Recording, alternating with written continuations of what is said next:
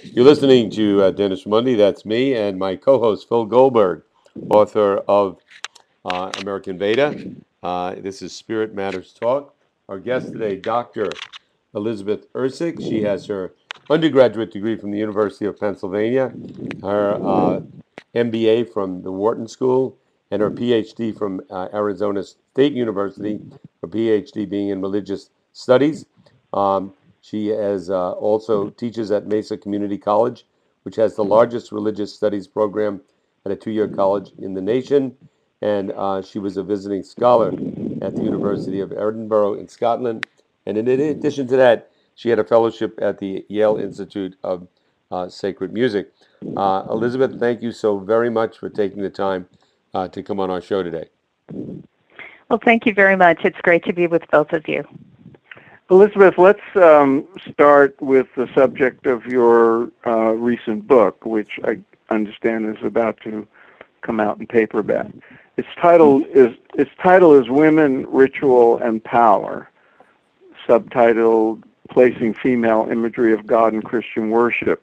Now, uh, we'd love to hear about the book, but in the larger uh, scope of things, you have a strong interest in the role of women in religion and um, not just in worship, but in, in religious institutions.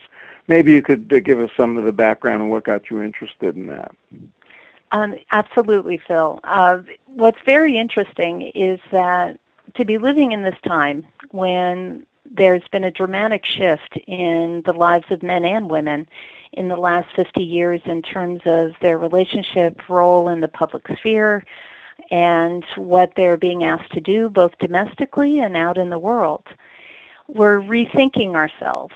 And because of that, uh, women in all aspects of their lives have made impact and change in most of the institutions that they've participated in not the least of which is religion. And because religious studies is the area that I've um, chosen as my study and what I teach, I, I see it actually quite dramatically.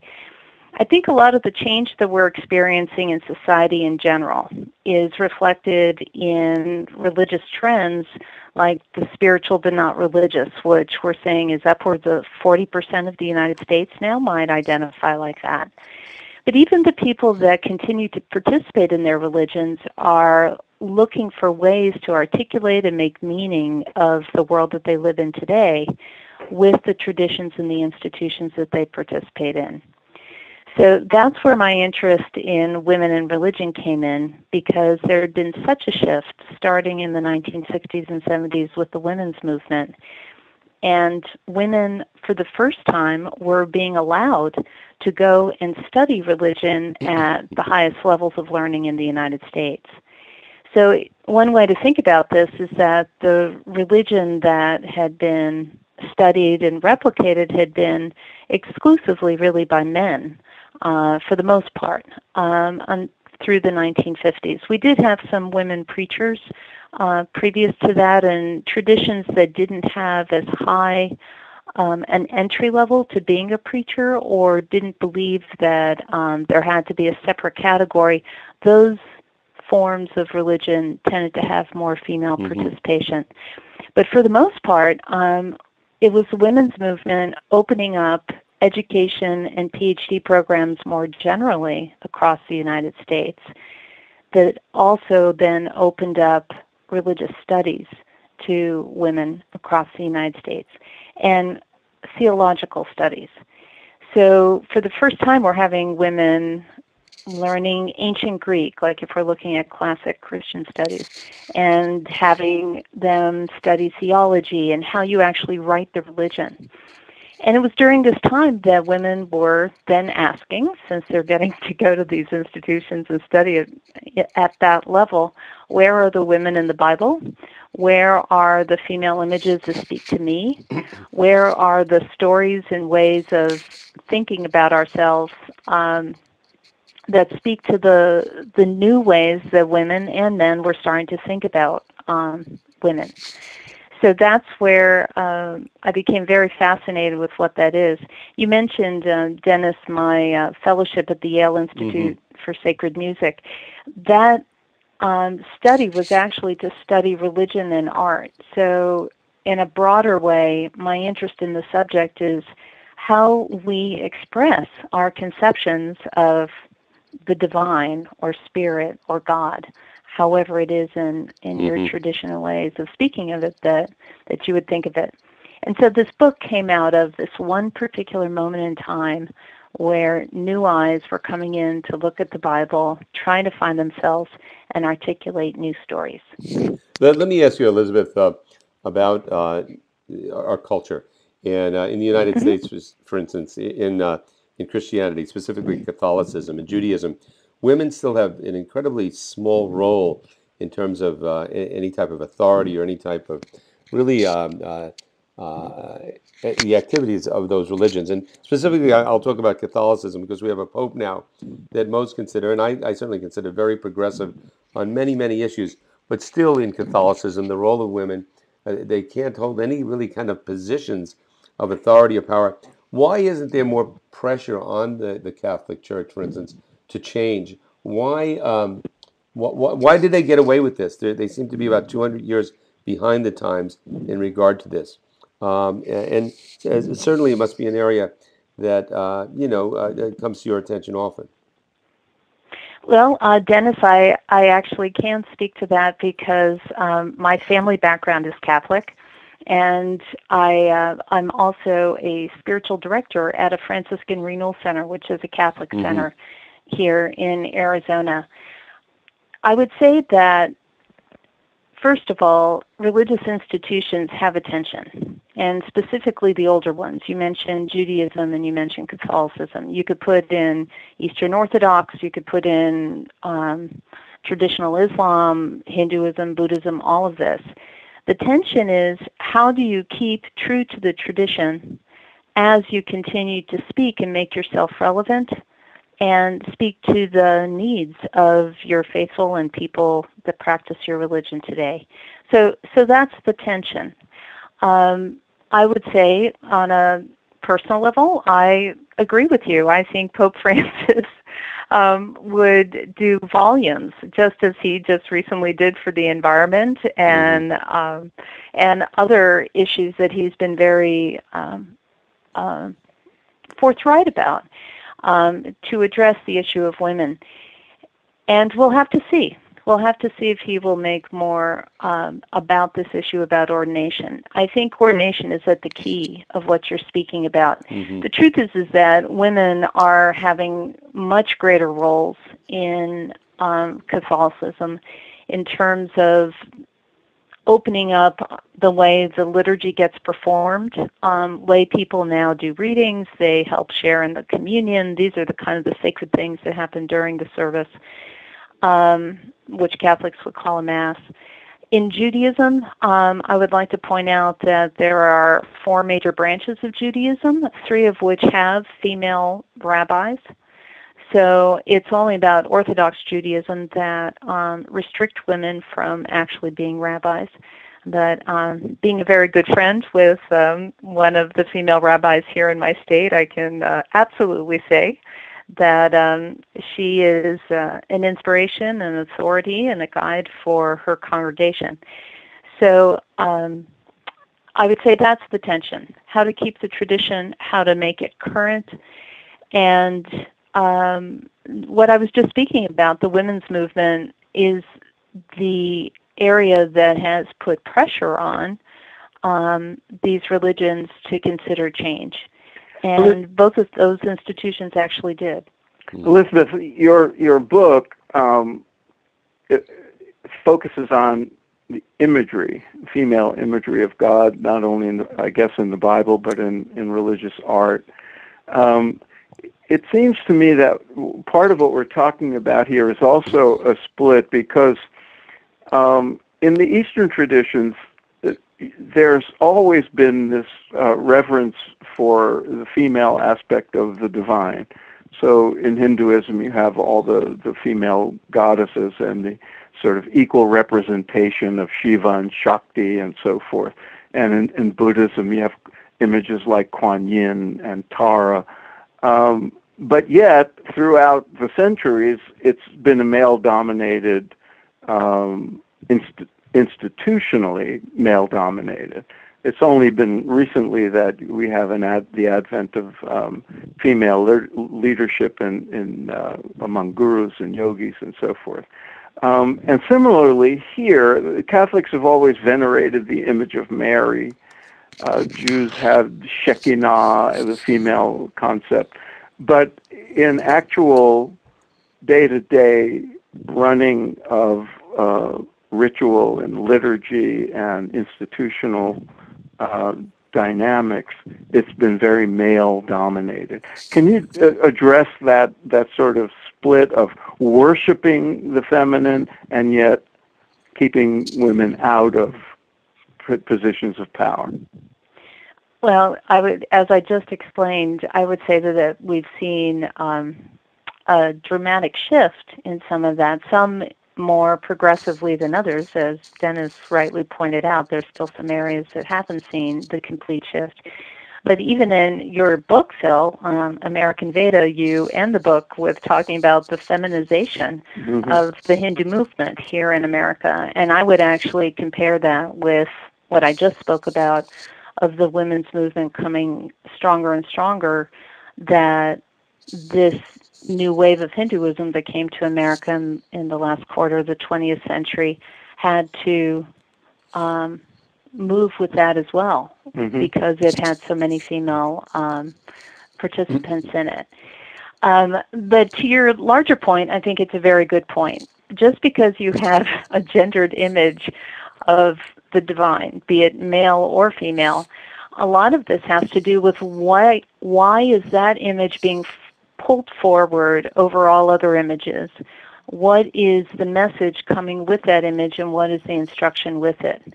And in ancient times, if only men were allowed to read, if only men were allowed to write, if only men were allowed to lead, then the female images that got brought forward are are being put forward in a way that is to speak to the society as it is organized. So just because you have a female deity of some kind does not necessarily um, translate to having female authority within the religion. Mm-hmm. However, um, a religion that does not have female authority on a human level in its hierarchy, um, if it doesn't have any female imagery of the divine, has in its stories a justification for why the intermediary or why the the person who is um, uh, representing or being the one to translate the divine message into the human realm, um, why it shouldn't be female if only male was represented, which is why this work that I end up pulling out in my book becomes so important. Um, what's very interesting in the Christian Bible is that there are references to um, female images of God. Um, for Christians, where they have this Trinitarian understanding, classically spoken of the Father, the Son, and the Holy Spirit, meaning there are three different ways that it gets seen. Um, in a non-gendered way could be creator, redeemer, sustainer. There's a lot of different analogies that have been used on how this one substance can have three forms. But what that does is it introduces a certain amount of mystery. And it says that no matter what way you see it, um, there are other ways to also see it and how it's been revealed. So if you look into the Bible, there are actually multiple, multiple images of how this mystery is is expressed, how it's presented. Um, some of them nat- nature images, um, and also since we have so many masculine images of this, there are female images, and probably the most prolific character written about as a female character, as a reflection of God, is what I would call Lady Wisdom. Um, she begins in the book of Proverbs. She's very prevalent through the wisdom literature, which are the last books in the Hebrew Bible. And um, she's referenced um, in the Gospels in terms of her scripture passages being retold and being retold as Jesus is the incarnate of this. So um, she's right there. And uh, what's fascinating to me is how little, both in Judaism and in Christianity and in Islam, mm-hmm. um, she gets preached about. So I went and did the research when I was at Yale about her references scripturally, and then I went out to find the communities that were actually using this imagery in their worship. Because what I noticed, and again, my focus is religion and art, is that while most of these religious traditions are very robust and have a lot of nuance if you look deeply into them, for the majority of the participants, it's what gets presented during group worship or group gathering or the main themes. That is what people say is the tradition. Mm-hmm. So even though it's all throughout the Bible, if you never preach on those passages, talk about those passages, paint a picture about those passages, tell the stories about those passages, you're going to have a congregation of people who say, well, that's obviously not part of my tradition. Right. If I could interrupt so, for a uh, second, for those just tuning in, you're listening to uh, Spirit Matters Talk with uh, Phil Goldberg and uh, Dennis Raimondi. Our guest today, Dr. Elizabeth Ursic. Her book, Women, Ritual, and Power, Placing Female Imagery of God in Christian, Christian Worship. Uh, her website, uh, elizabethursic.com. That's Elizabeth, U-R-S-I-C dot com.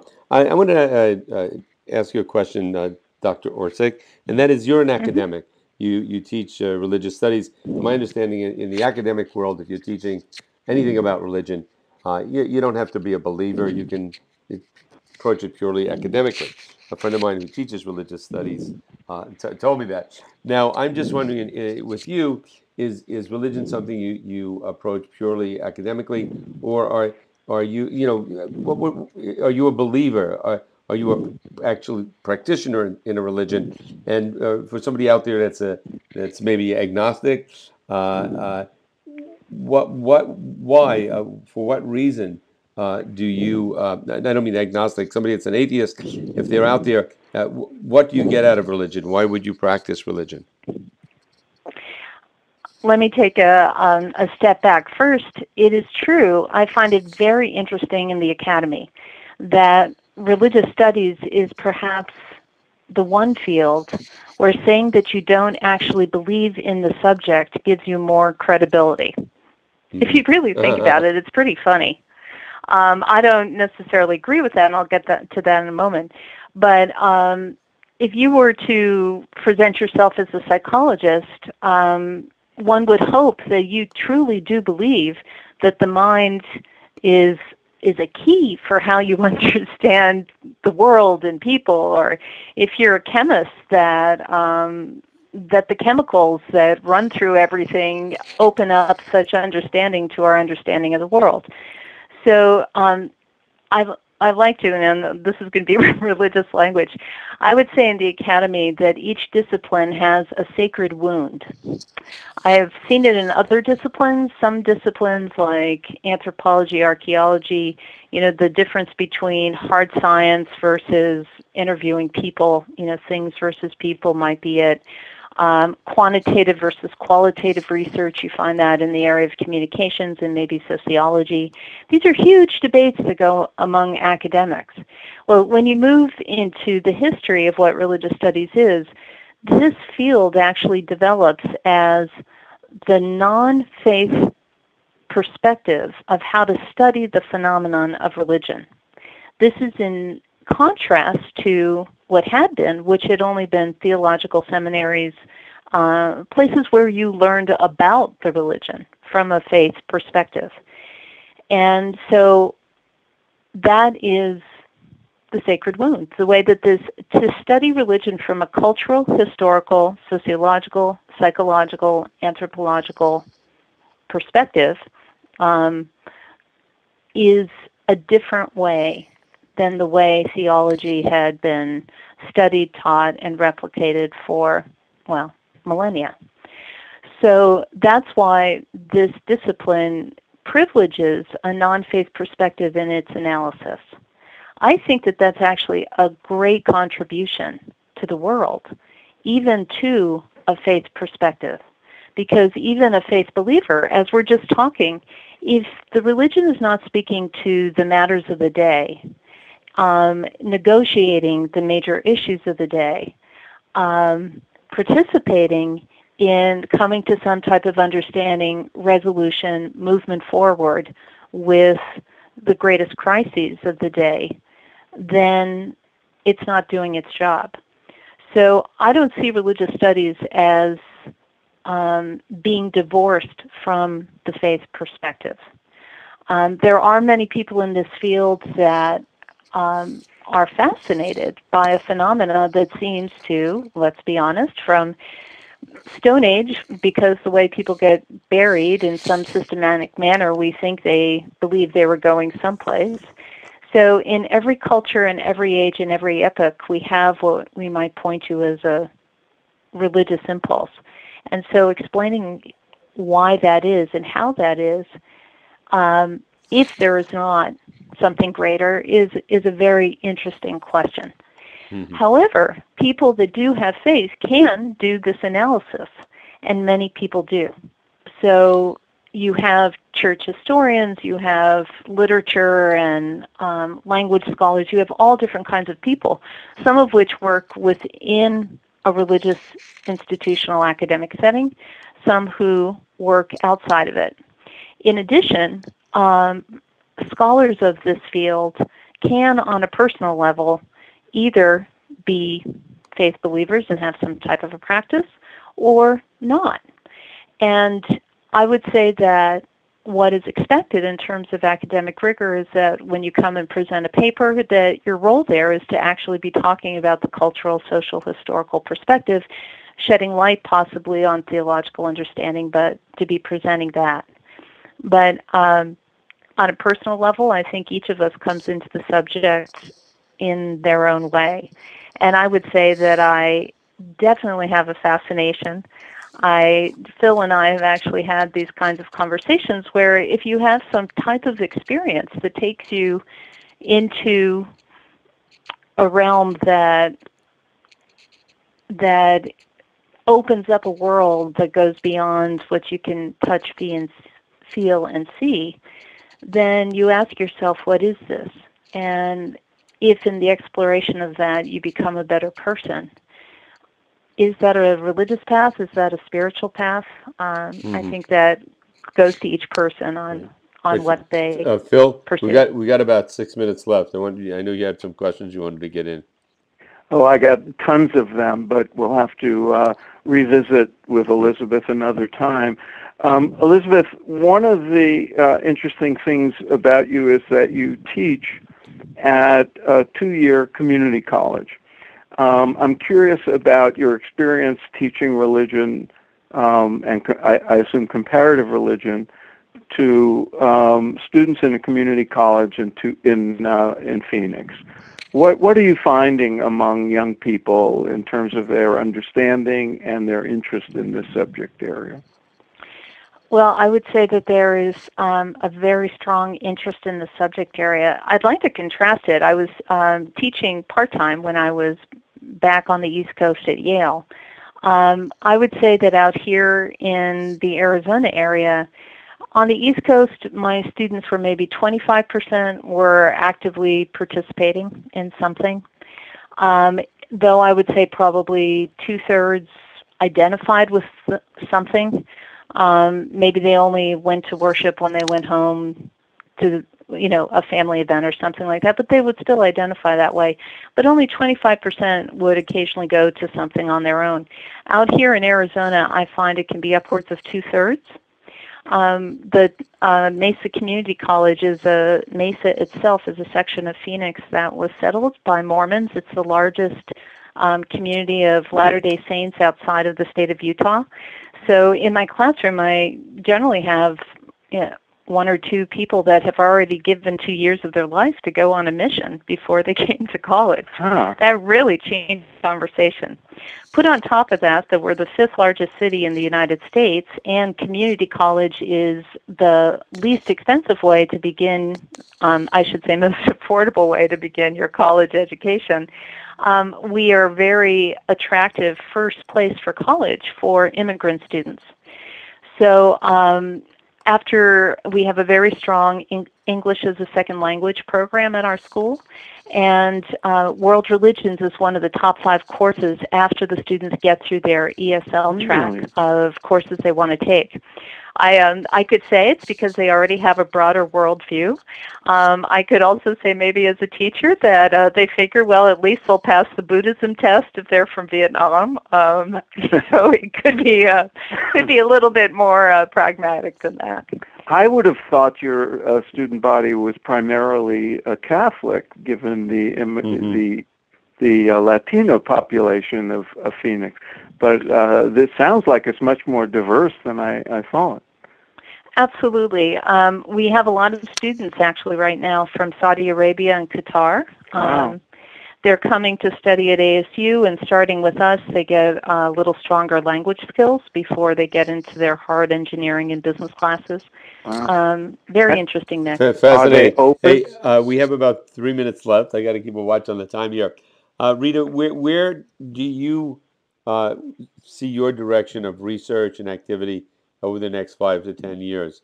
What would you like to see uh, uh, on your plate as we go forward?